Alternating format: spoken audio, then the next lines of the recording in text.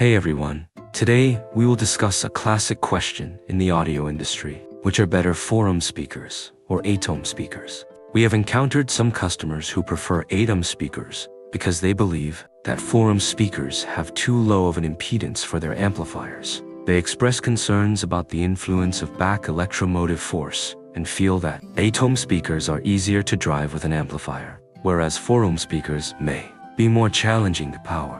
Consequently, many people assume that 8-ohm speakers must sound better than 4-ohm speakers. Of course, many people hold opposing views on this issue. Let's discuss Aperion Audio's perspective on the topic. For your reference, you are encouraged to share your thoughts in the comments section.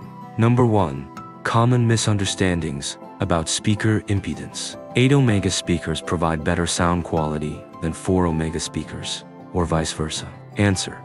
Sound quality is not directly related to impedance. It depends on factors such as speaker design and crossover adjustment. Some high-end speakers are designed to be for omega to optimize sensitivity or frequency response, while 8 omega speakers also can offer top-level sound quality. Misunderstanding 2. 8 omega speakers are more power efficient. Answer. A speaker's actual power consumption depends on the playback volume.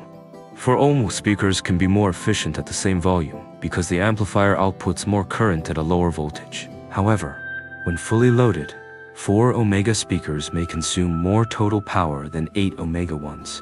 Misunderstanding 3. Impedance mismatch will damage the amplifier. Answer.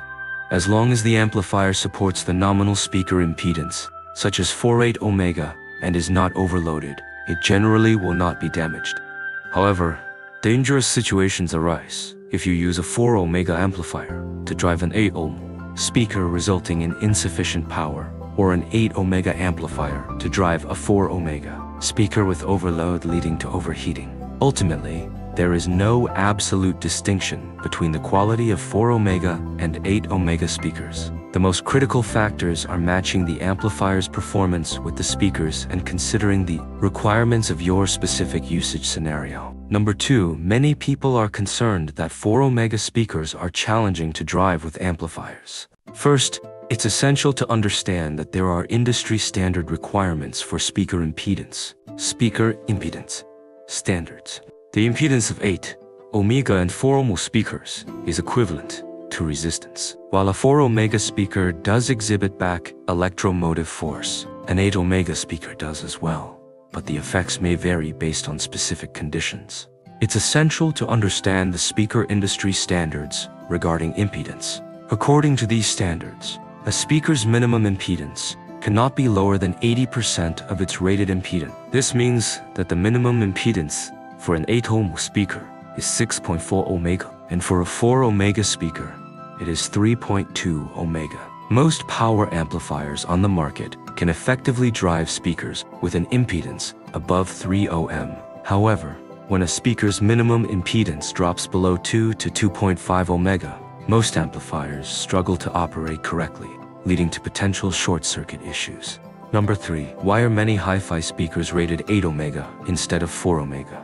The amplifier's output power and the speaker's maximum sensitivity are the main reasons. But why does this relate to the amplifier? Its simple speakers need an amplifier to produce sound. Therefore, when comparing 8 omega and 4 omega speakers, it's essential to consider the amplifier you will use with them. We assume that the specifications of a two-channel amplifier are as follows. 160 watts RMS per channel at 8 ohms. Frequency response of 20 Hz to 20 kilohertz. Total harmonic distortion, THD, 0.1%. 250 watts RMS per channel at 4 ohms measured at 1 kilohertz. Total harmonic distortion, THD, 0.1%. The amplifier delivers different power outputs at 8 ohms compared to 4 ohms. Typically, the power output at 4 ohms is significantly higher than at 8 ohms. Let's consider an example. If a speaker has a sensitivity of 86 decibels at both 8 ohms and 4 ohms, we can calculate the difference in maximum sound pressure level SPL after adding the amplifier. The formula for maximum power calculation is max SPL equals 10 log 10 amplifier power in watts, plus speaker sensitivity, SPL, in dB. 8 ohms, 10 log 160 watt plus 86 decibels equals 22 plus 86 equals 108 decibel. For ohms, 10 log 250 watt plus 86 decibel equals 24 plus 86 equals 110 decibel. Thus, the maximum SPL for the speaker would be 108 decibels at 8 OHMs and 110 decibels at 4 ohms. It is clear that a speaker's higher total impedance results in lower maximum sensitivity and reduced sound output when the sound volume decreases. It becomes more challenging to notice flaws in the speaker's sound, background noise from the amplifier, and other undesirable factors. Additionally, Many speakers on the market neglect to address impedance issues in their design, focusing primarily on achieving a flat frequency response curve.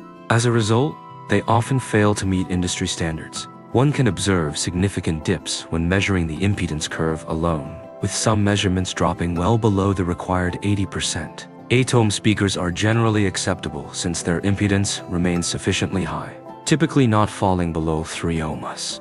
However, 4-ohm speakers can pose a serious risk. If their design is flawed, the impedance can drop below 2.5 ohms, which may cause problems for amplifiers that lack sufficient load capacity, rendering them unable to function correctly. In other words, designing and producing 4-ohm speakers is generally more challenging than 8-ohm speakers for a long time. This has led many people to believe that 8-ohm speakers are easy to drive, while 4-ohm speakers are difficult to drive. This is the reason. This video is a bit long. We will cover the rest in the next video. That's all for this time. We hope you have a great time. Welcome to our Aperion University series. Here, we will introduce you to basic acoustics knowledge. We hope it will help you. If you like it, please follow us.